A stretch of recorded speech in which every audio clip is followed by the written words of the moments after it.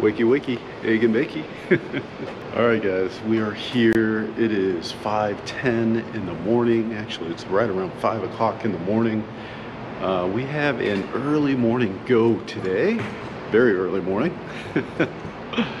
Although you guys know I like waking up in the summer, right around 4.30-ish, get a workout in. This is a little early for me in the winter.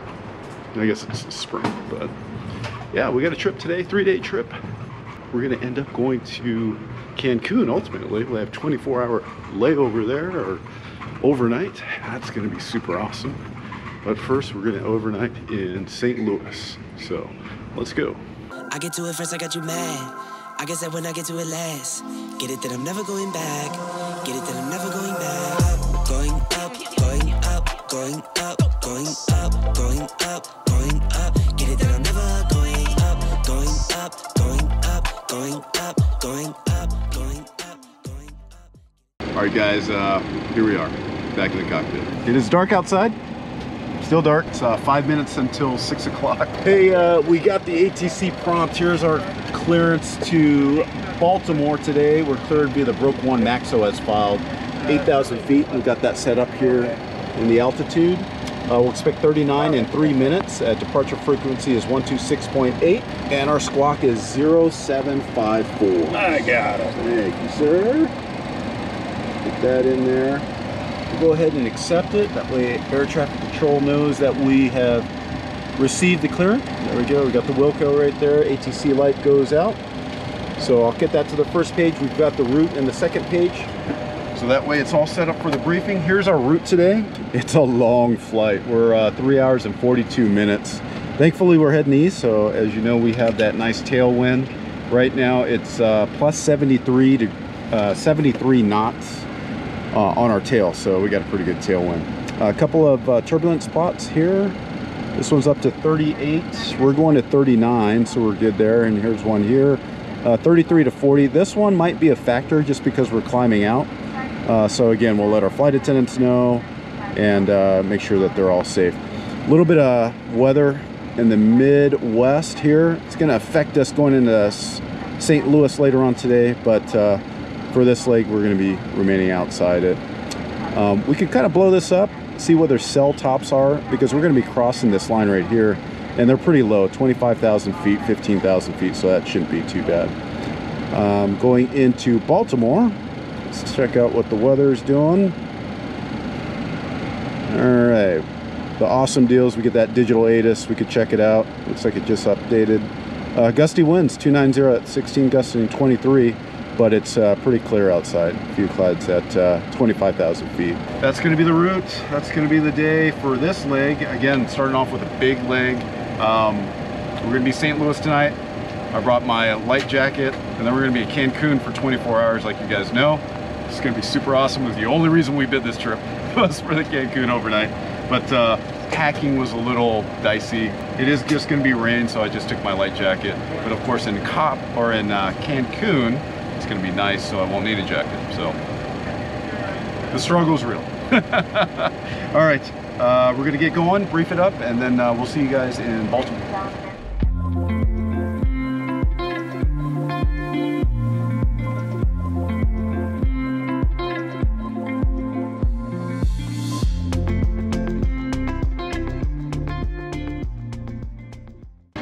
Guys, we are here in Baltimore. Nice gate. We got gate uh, number three, so it's really close to uh, all the stuff. So we got to change plans. Once that gate pulls in, we'll get the end time, see what we flew all the way across the country. We did see a Max parked at the uh, other terminal, so that's kind of cool. Um, but we got to change plans. We got two hours on the ground, so we might grab something to eat before we roll out to uh, St. Louis. And uh, when we do, we got to do another pre-flight on another airplane. So we'll see you at the other airplane. All right, guys, just like that, we're back in a new airplane. Just did a pre-flight. We're on a uh, 737-800 this time. Uh, it'll be my leg into St. Louis. Nice. I keep forgetting. St. Louis is where we're going. I know where we're going. Big arch. yes, the big arc. All right, uh, we got the ATC prompt, so we'll click this. Let's see what we got. Clear to St. Louis Airport via the TERP 7, Ramey, then as filed. We'll climb via the SID, except maintain 4,000 feet. So dial that into 4,000. Next page says uh, expect 360 in 10 minutes. Departure frequency is 125.52. We'll check that here in a second. Squawk of 0513.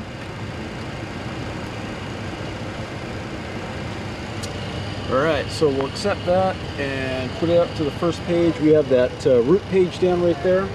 That way it's a real good flow for the briefing. Here's the overall look at what we're doing today. So from uh, Bewee, this is our route over. You can tell we've got uh, a little bit of weather that we're gonna pass through right there. Uh, this top shows about 20,000 feet, so it's all pretty low, 25,020. Here's, uh, we could get a PIREP 12,000 feet from a, uh, looks like a uh, 650 uh, moderate turbulence. So even though there's no turbulence plot, we kind of could figure it's going to be bumpy in there. So we'll just make sure that uh, we let our flight attendants know as usual. Uh, it's a two hour flight, so we've got plenty of time to do service and all that good stuff. And uh, by the time we get to the weather, so that's it for the route. We're going to go ahead and brief it up and then head on out.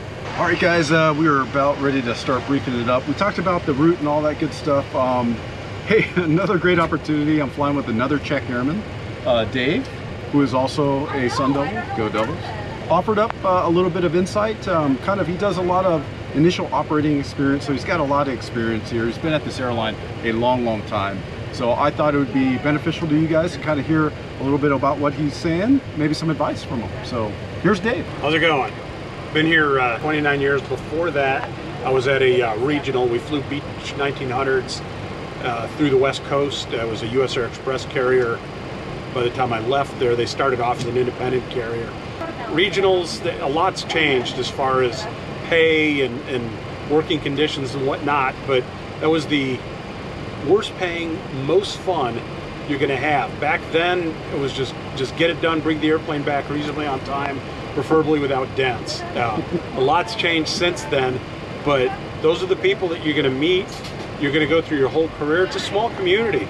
I mean, I still keep in touch with most of the guys, you know, almost 30 years later. When you're the first officer at these uh, commuters, that captain, uh, he's going to get a job somewhere else, or you're going to get a job somewhere else, and you're going to help each other along with your career or not. So you've heard the old adage about you know don't burn a bridge, and that's a big deal in this uh, in this business. You'll fly with people who are difficult and sometimes they're a little bit abrasive, but you got to look past that and. Uh, that, that guy one day will help you get your job or girl and they may turn out to be one of your best buds. As far as getting prepared as a first officer, I was always as, as helpful as I could be. Uh, in a new position, you want to figure out your job for the whatever the first six, eight, ten months. Once you figure out how to be the first officer, start looking left of that control panel and start figuring out what the captain does because sometimes it takes a long time, other times it sneaks up very quick. Commuter I worked at, hired as an FO. They said it would be a two to three year upgrade. Well, we doubled in seven months. So I was on probation as a Beech 1900 captain. I was 20, 24 years old. It's a lot of responsibility, but you know, I think I was prepared because I really looked to the left. Enthusiasm will get you a long way on here. Doing IOEs and UOEs, upgrade IOEs, you can tell the difference between people who studied and people who learned the stuff and people who did it at the last minute. Just always strive to be the best. I mean, people screw up in this business and if you are not your own harshest critic, you need to look at yourself because that's the stuff that separates the professionals from just the people that go through the motions. So, I mean, that's that's my advice on that. And uh, here I am, 26,000 hours later. Never talked to the FAA about anything. Cross my fingers, it never happens. But uh, just be as professional as you can be from student pilot all the way up. Just strive to be the best. Uh, so Dave, can you talk to him about what you see the future of the aviation industry as far as the airline industry for those that are in college right now or at the regionals looking to make that jump? It's a great time. I mean, I, I wish I, I wish everybody success and if you stick at it, it's going to happen. I mean, uh, the hiring slowed down. It stopped September 11th, 2008. Housing crisis crashed and slowed down. I mean, we're flying this week, and here it is spring break, and people are getting their shots, and people are flying again. We're about to fly a full airplane from here to St. Louis, and uh, I think the company and all these airlines is just going to be more and more and more capacity. Uh, all the freight haulers, it's just going to keep growing. It's a great career, and uh, the big joke here is that the lawyers killed the doctors as the great profession, and the lawyers killed each other, and we're what's left. So, uh, you know, just just stick at it, and uh, the rewards are coming, and it's it's it's a great career. I encourage everybody to stick with it. All right. Well, hey, wise words again. You know, I always like to give you guys, uh, the guys that have been there and done that, have seen a lot. I hope you guys get uh, get something out of it, and uh, you know, again, keep keep hustling no matter what you're doing. If you're getting your ratings, keep hustling on those. If you're flying at a regional right now, be that best first officer or captain you can absolutely be. Show up early, look professional, and uh, you guys will have success. So, all right, we're gonna get ready and we're gonna head on out to uh, St. Louis. We're going to St. Louis, and uh, we'll see you guys there. All right, guys, we're here. Uh, that was uh, pretty sporty. so we made it. Uh, that was the weather on the way in. Our post flight should be popping up any minute now. Coming. Wait for it. Wait for There it it. is. There's the door. And bam, there it is. Two hours and 16 minutes That was our block time. Nice crosswind coming in. It was kind of payback for the captain's landing. Because he had, the crosswind on the way. I didn't get the message. All right, guys, we just got to change. Change to change. Looks like we are must riding out to uh, Baltimore, maybe to get us in position for tomorrow. Not sure.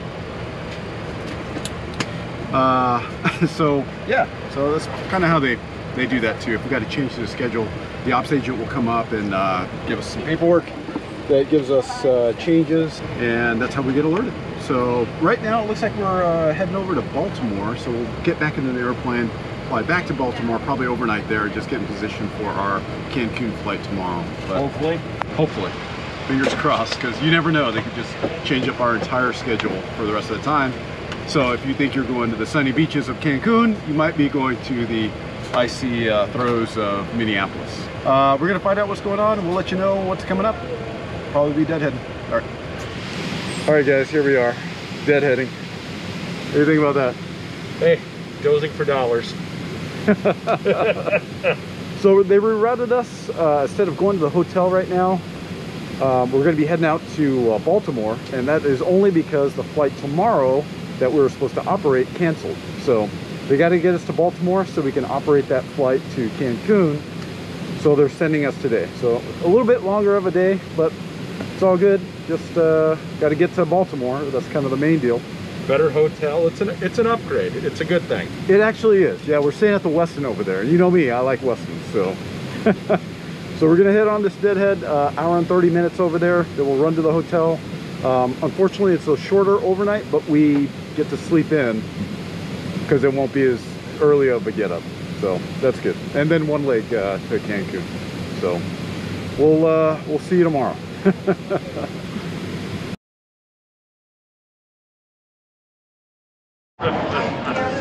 You guys are probably wondering why we're downstairs by the baggage claim and not on the airplane. You'd be, uh, your inquiry would be correct. In the airline industry, you have to be prepared for the unexpected. so they were waiting on more passengers to come in from a late flight, which kind of pushed us up against our duty time. So they asked us to get off the airplane and we're actually going to overnight here in St. Louis. So that was a change that happens from time to time as well. So we just got to kind of adapt and, and overcome. Here we are. So that's it. We're gonna go catch the uh, van, get to the hotel tomorrow. Now instead of going to Baltimore then Cancun, we're just going to deadhead to Cancun tomorrow. All right, we're we're not doing a whole lot of flying except for the flight out here. But anyways, it is what it is. We're just gonna do what we got to do. So, all right, guys. See you tomorrow on the deadhead, maybe, unless things change again.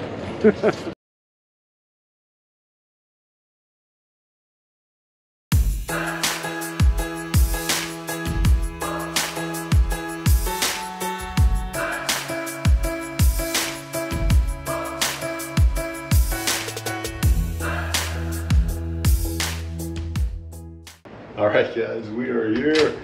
Just getting into the room. I gotta show you this room. We're here in Cancun. Oh man, you can already tell. Baller.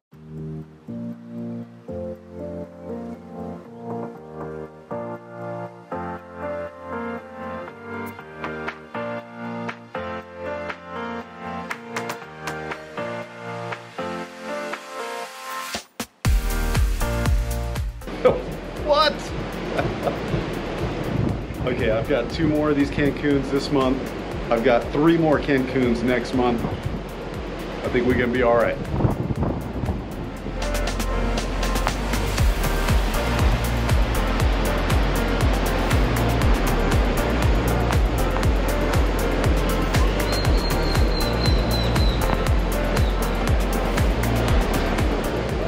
All right, I know what you guys are thinking. Man, get your shorts, get down to the beach, but we got a workout to do. So we're gonna go get a workout in really quick. It's gonna be a quick shoulder one. Uh, I know we worked out this morning, but hey, we gotta do it again. We're here at a really nice resort. It's probably got a super, super, super nice uh, gym out there. But uh, yeah, that's our motivation. Get your fitness in and then have fun, right? So, all right, I'm gonna get dressed, head down, hit a workout. I'm gonna meet the captain. he already said he's gonna be down there. He's not going to work it out. I don't blame him. Uh, I am kind of nutty at that, but it's all good. So, all right, guys, uh, it's overnight time. I'll see you in the morning.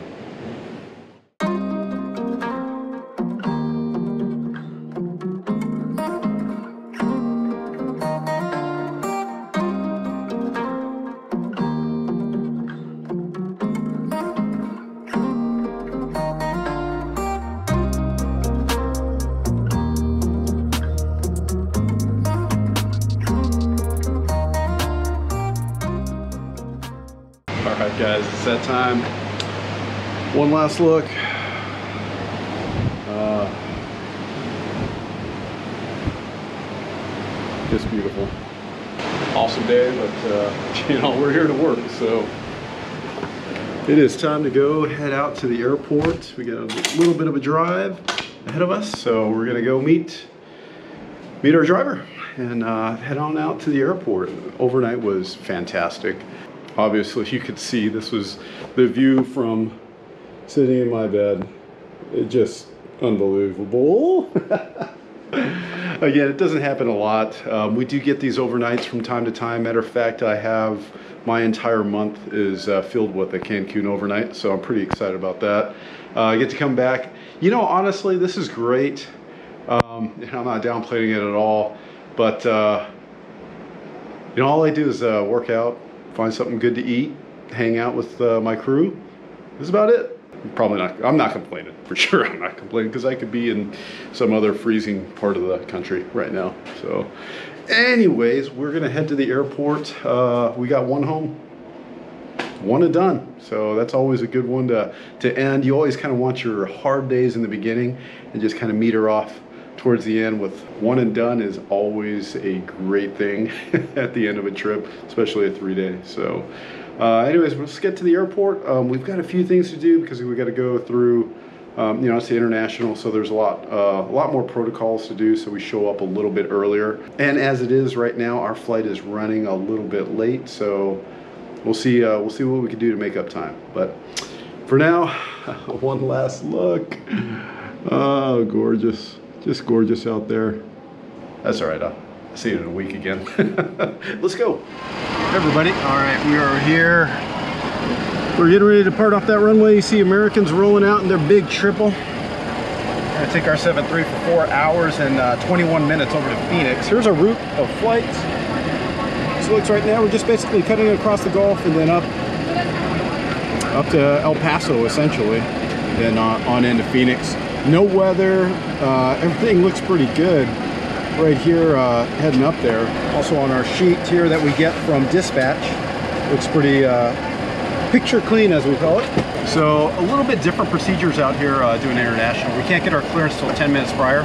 It's gonna get really busy, but that's how it looks right now, four hours, 21 minutes. We got our ATIS out here, it's nice and warm and very humid. Um, but other than that, should be a nice ride. Pretty full going back. That's a good sign. of course, in, in these times. So 180, we are on our way to uh, Phoenix. Getting away momentarily, looks like a nice smooth ride all the way there. Uh, four hours, 20 minutes or so en route. We'll keep updated with our progress once again. And that is how you do that. so, all right, guys. Uh, sorry, not a whole lot to show you other than uh, the route and all that good stuff. Um, there is a couple of turbulence spots as we do get into uh, Phoenix. As you can see there, they've got moderate turbulence and into Phoenix. There's a little bit of weather out there, so expecting uh, moderate turbulence down in the lower altitudes as Hey, well. uh, so, all right, uh, we're gonna get ready and head on out. we'll see. Clearance uh, Southwest 180, like uh, clearance to Phoenix. We're ready to copy. Southwest 180, you are cleared to Phoenix via VOBED 2 Bravo departure. I spell it as Victor Oscar Bravo Echo Delta 2 Bravo. Runway 12 left, Uniform Juliet 84, Charlie Zulu Alpha. Uniform Tango 20, Uniform Bravo Victor Oscar Victor. Uh, let me check your flight plan, Southwest 180, and I'll call you back. Okay, thank you. It's off to a good start. Autorización Cancún, buen día, Volaris 141, listos a copiar plan de vuelo uh, Puebla. Okay, as you can see, uh, there's a little something going on, so she's going to check it out. But you can see the captain is also writing down the clearance. That's just to make sure when we get it over the uh, airways like that, we want to make sure that we're on the same page and everybody's got the same route and we're all good with that. So uh, that's kind of what's happening right there. He's reviewing the uh, departure because we know the Ah, departure. Kiran, esta cha- está con And, 3227. Well, when she comes back to us, we'll, we'll get the full route. All right, uh, Southwest 180 is ready to copy new route. Southwest 180, you are cleared to Phoenix via VOBED 2 Bravo departure as Victor Oscar Bravo Echo Delta 2 Bravo. Uniform Juliet 84 Charlie Zulu Alpha. Uniform Tango 20 Alpha Lima Mike Uniform Victor. Uniform Tango 46. Uniform Romeo Kilo Oscar Mike. Direct Charlie Uniform Sierra. Direct Delta Romeo Romeo Victor Romeo. Climb and maintain 4,000 feet. Expect final 400. And the squawk 6115. Ooh, that's going to be a good one. Yeah. All right, uh, Southwest 180, we're clear to Phoenix via the Victor Oscar Bravo Echo Delta 2 Bravo departure. Upper Juliet 84, Charlie Zulu Alpha, Upper Tango 20 to uh, Alpha Lima Mike Uniform Victor, Upper Tango 48 to I missed that one. Uni- That's uh, Uniform Romeo Kilo Oscar Mike Direct Charlie Uniform Sierra Direct Driver 4040 uh, squawking 6115. so that was one thing. Uniform Romeo. Okay, so it was 180. The route back is correct, but remain with me. Just to che- dou- make a double check on one of the, of the fixes. Okay, we'll remain with you, Southwest 180. Uniform Romeo. United Kilo 1019? Mike. Uniform Romeo. Go Kilo ahead. Oscar Mike. Yeah, I had a space in there. Yeah, United 1019, you're cleared So you to that's why that's why two Houston people via listen. That's North right. Cook, That's why we had two people copying down the 1 flight Bravo, especially, runway 12 especially when they do a, a, a big reroute like that. It can get super crazy, and then being international, then you've got the language barrier and all that good stuff. The so, accent. the accent. Yeah, there's so- a lot. There's a lot to consider on that. Yeah, so that was good. That was a good, uh, good uh, audible and a good help out right there. So uh, we're going to stay on this frequency and uh, figure out the uh, route getting back. We're getting pretty close to push time, so uh, we're going to copy it down, make sure everything is in the book or in the uh, 1019, we are FMS, cleared to brief it up, file and then and, we'll be out of here. So we'll see you guys in one Phoenix. Bravo All right, guys, we're here. Look at my little release. Tons of reroutes. Got a lot of it on the way back. Um, even in Mexican airspace, they changed the sound around a little bit. So, hey, it's just the deal. You saw the ordeal getting out of there. It's It's kind of what we do. So that's why the importance of having two. You know, we've got a lot of additional or additive conditions when you're flying international, such as language barriers, accents, all that good stuff. So it's always good to have two. Uh, thanks to Dave. I really appreciate him giving you guys insight, you know, from a check airman that's been here a long, long time. Thanks for flying with us. Yeah. All right, guys, that's it for this trip. Uh, we'll see Dave again because we're flying with him all month. And uh, they're all Cancun's too, so I don't think we're gonna give them We're away. not giving them away. so, so we'll see him again. Again, thanks for tuning in. I appreciate you guys' support. See you next week.